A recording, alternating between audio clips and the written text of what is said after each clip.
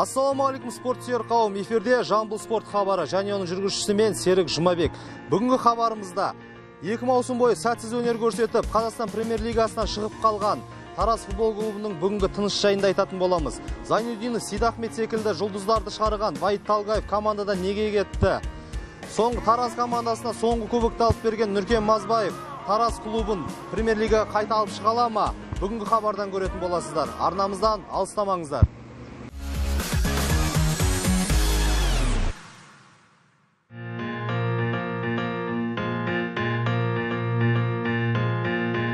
Тараз кәсіпқой футбол клубы жамбыл облысы атынан қазақстан чемпионаттарында өнер көрсететін футбол ұжымы. Жалпы клуб ретінде 1960 жылы негізі қаланған.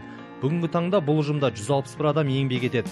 Клубтың тараз қаласындағы орталық стадион қосалқы жастар және ұлан стадионы мен футболшылар және бапкерлерге арналған база ғимараты бар. Клуб қажетті көлік құралдарымен де толық қамтылған. Орталық стадион мұнда негізінен клубтың әкімшілігі орналасқан. Мекеме басшысынан бастап орынбасарлары кадр бөлімі мен бухгалтерия қызметкерлері осында отырады. Мұнда тараз футбол клубының мамандарына да орын берілген. Стадионда бүгінгі таңда қазақстан футбол федерациясының барлық талаптарына сай құрал жабдықтармен жабдықталған. Орталық стадионға 12500 адам емін еркін сияды. Биылғы жылы стадионның бір бөлігіне қауіпсіздік ғимараты мен әжетхана соғылды. Осының арқасында жаңадан 200-ден астам орындық бөлінді. Бұл стадионның сыйымдылығын арттырады. Орталық стадионға кешкі уақытта жарық әрі қолайлы болу үшін төрт жағынан жарық беретін шамдар қойылды. 2013 жылы 285 миллион теңгеге стадионның негізгі бөлігінің төбесі жабылды. Бұл өз кезегінде жанкүйерлер мен қонақтар үшін ыңғайлы жағдай туғызды. Стадионда талапқа сай электронды табло мен бақ өкілдеріне арналған аймақ та бар. Ойынды қадағалап отыратын матчтың инспекторларына да арнайы бөлме соғылған. Стадионның орталық бөлігінде қонақ команданың шешінетін бөлмесі орналасқан. Мұнда футболшылар үшін барлық жағдай қарастырылып отыр. Шешінетін жеке жеке орындар массаж үстелі жуынатын орындар әжетхана бар. Ал тараз командасының шешінетін бөлмесі стадионның сол қапталында орналасқан. Мұнда кез келген футболшы тараз футбол клубының чемпиондық тарихынан сыр шертетін суреттерді де тамашалай алады. Орталық бөліктің сол жағында төрешілер бөлмесі бар. Төрешілер бөлмесінің ішінде олар кеңесуге арналған дөңгелек үстелдер қолданатын заттар мен бейне қайталауды көретін теледидар қойылған. Мұнда да төрешілердің киім қоятын орны мен жуынатын бөлме жасалған. Орталық стадионның екінші қабатында қазақстан кәсіпқой лигасының матчтарын тікелей таратуға арналған бөлмесі жұмыс істейді. Ал мұнда тараз командасының ойынын тамашалауға келген жоғарғы лауазымды азаматтар отыратын орындар бар. Мұнда арнайы баспалдақпен сонымен қатар лифт те жұмыс істеп тұр. Тараз футбол орталығының негізгі ойындары өткізілетін жастар стадионының мүмкіндігі зор. Алдағы уақытта бұл стадионға күрделі жұмыстар жүргізіледі деп күтілуде. Тараз командасының футболшылары үшін қазір барлық жағдай жасалып отыр. Олар еш нәрсеге алаңдамай ақ тек ойынын дұрыстап ойнаса болғаны. Оның бір көрінісі мына футболшылар үшін соғылған база ғимараты. Үш қабаттан тұратын нысанның үстіңгі бөлігінде. Футболшылар мен бапкерлер жататын арнайы нөмірлер бар. Ал бірінші қабатта тараз футбол клубының баспасөз мәслихаттары мен түрлі деңгейдегі жиналыстар өткізіледі. Осы бөлмеде әр жылдары ойнаған жамбыл футболының жарық жұлдыздарының суреттері ілінген. Футболшыларға үш мезгіл тегін тамақ та беріледі. Бір сөзбен айтқанда тараз футбол клубы басқа да клубтар секілді керек құрал жабдықтармен қамтамасыз етілген. Тек соңғы кездегі нәтижелері көңілді қуантпайды. Талай футболшы тәрбиелеп шығарған команда соңғы кезде биік жетістіктерге қол жеткізе алмай келеді. Екі маусым бойы қазақстан премьер лигасында айшықты ойын өрнегін көрсете алмаған жергілікті команда биылдан бастап бірінші лигада өнер көрсетіп жүр. Тіпті мұнда да аутсайдер командалармен тең ойнап басқа қарсыластарымыздан ұтылып жанкүйерлер күткен межеге жете алмауда. Мұның себебін тараз футбол клубының директорынан сұрап көрдік. Енді биылғы айтып кетсек енді өкінішке орай былтыр осы бірінші лигаға түсіп кеттік енді биыл әрине жоспар ол премьер лигаға шығу соған әрекет жасап жатырмыз енді өзіміздің былай негізгі ойыншыларды айтсақ көбісі өзіміздің осы жамбыл ойыншылары айтып кетсек әрине осы тәжірибе бар футболисттер бар арасында былтырда болған шепизинді айтып кетсек қазір қосылып жатыр тағы да ойыншылар байтанал да қайтып келіп жатыр гавидарица деген енді самат смаков отарбаев деп отарбаев сосын бейсенов келіп жатыр бекзат премьер лигада ойнаған балдар енді әрине былай айтып кетсек енді сол премьер лигаға шығу ойындар иә иә әрине футбол деген не не ол қызық ойын да ешкім айта алмайды да ойын алда иә әрине біз командамыз тәжірибесі бар ойыншылар да былай айтып кетсек атақсы бар арасында дегендей былай. Былай айтсақ ойынның алдында да біздің ойыншыларымыздың психология жағынан ғой. Ойынның алдында осы команда қарасақ он бірінші орынға келіп жатыр деп былай ол да ойымша онда болған алдында деп. Енді ойын басталғанда уже осындай нөл нөл болғанда қазір саламыз міне қазір қазір деп енді гол жіберіп сосын кішкене біз асығып ойнап сондай да жағдай бар да. бірақ айтып кетсек әрине осындай ойында осындай командалардан ұтуымыз керек. Енді сол үшін айтып кетсек осы талгаевты айтып жатырмын да хамидичті бізде оның алдында сөйлегенбіз ол да осы мақсат біздің команданың мақсатын біледі жоспарымызды біледі осы енді дайындық болып жатқанда біз сөйлескенбіз. Енді тек қана біз шығуымыз керек. Айтып кетсек бірінші екінші орын екі команда олар премьер лигаға шығады. Үшінші орын алған команда ол айтамын ғой иә стыковой болады сол бізге сол стыковой бізге керек емес. Бірінші екінші орын алу керек. Енді соны түсініп жатырмыз.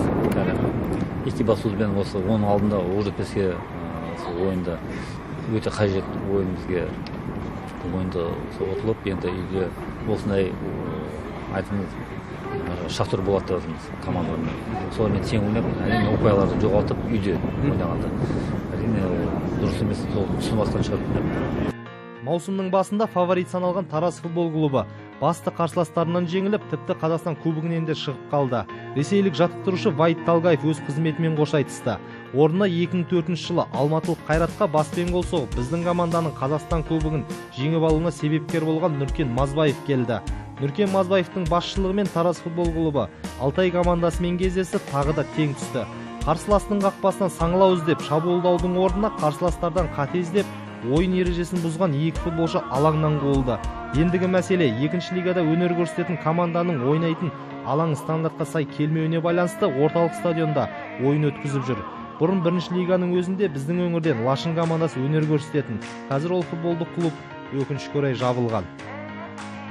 Енді жанкүйерлерге айтып кетсек енді кішкене шыдамды болу керек. Енді балдар өзіміздің балдарға да кішкене уақыт керек. Енді соны айтып кетсек енді жоспар қалды ғой. Оның бәрі біледі футболист. Ойыншылармен қазір жиналыс өткіздік оларға да айттық. Енді енді жанкүйерлер көп жанкүйерлер келіп жатыр. Былай айтып кетсек бірінші лигада ең көп келетін жанкүйерлер ол бізде келеді осы таразда. Сол енді әрине енді әрекет жасаймыз ғой. Материал базаға айтсақ енді осы стадион бар орталық стадион. Биыл өте қиын жағдай не деп айтсақ ол бізде екінші лига бар тағы да командамыз. Сол айтып улан деген стадионда біз ойнайтын едік. Енді оны федерация футболы оны қабылдамай оны себебі алаңның өзі иә иә сәйкес келмейді да. Соның бәрін енді осы екінші лигада ойнап жатыр осы жерде біздің өзіміздің команда. Енді алаңға да байланыс қой соны қарап жүрміз. Енді былай жастарды айтып кетсек біздің осы орталық футбол центр біздің кішкентай балалар жасөспірімдер ойыншыларымды айтсақ оларда шын айтсақ инфрақұрылым жағынан ол жақта да алаң нашар деп айтамыз. Ол да стандартында емес енді бірақ жоспарда бар ғой иә жоспарда бар. Сол бәрі уже бәрі өтіп жатыр. Енді жұмыс өткізіліп жатыр. Енді әрине жаңа полис алаңды салу керек. Себебі балдар ол біздің айтамыз бәріміз фундамент. Тек қана ол бірінші осы команда емес ол бізде бес жүз бала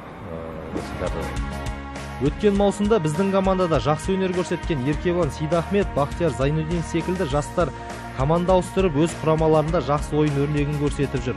Ал дәл қазіргі таңда талантты ойыншыларды танытатын жасөспірімдер футболы ақсап тұр дейді мамандар. Облыста оларға алаң соғу керек. Жағдай жасау керек тағысын тағы. Біздің таразы командасында қазір бар. Енді оларға жағдай жасау керек. Оларды киіндіріп спорт инвентарь дейміз жағынан доп жағынан. Біз клубтың басшысынан футболшылардың жалақысын да сұрап көрдік. Екі маусым қатарынан сәтсіз өнер көрсетіп биылғы чемпионатты нәтижесіз бастаған команда ойыншыларының айлығы бәлкім ойындарына сай емес болар. Бірақ клубтың жанды жеріне тиіп кеттік пе әйтеуір жауап ала алмадық. Оны айтпайды ғой себебі контракт жазылғанда ол не бар да иә. Құпия деп айтпайсың былай. Олар да біз жағынан да олар жағынан айтады да себебі оны білесіз ғой халық ол негатив иә негатив біреу айтады неше мынандай да әңгіме болады да. Әрқайсысы оған қарамай тек қана бүйтіп ой мынау мынау машина пәлен. Просто келісім болғанда осы контракт айтамыз ғой контракт жазылғанда сондай бар. Просто жазылған да сол контракт жазылғанда ол да бізде онда айтпай ну айтпаймыз да былай өзіміз бізде тексеруші бар да. Тексеретін адам бар. Әрине иә иә келеді налоговый бәрі көреді ғой қандай не олар біледі да тараз футбол клубы тарихын тереңнен тартқан талай жұлдызды ойыншыларды түлеткен тәрбие мектебі. Кезінде алып кубокты төбелеріне көтеріп ел чемпиондары атанған кезде ел есінде. Ендеше 60 жылды артқа тастаған клубтың болашағы да жарқын болуы тиіс. Футбол сүйер қауымның үмітін ақтар әлі де талай жас буынның шығарына сенейік. Құрметті көрермендер осымен жамбыл спорт хабары өз мәресіне жетті. Келесі сенбіде жүздескенше аман сау болыңыздар.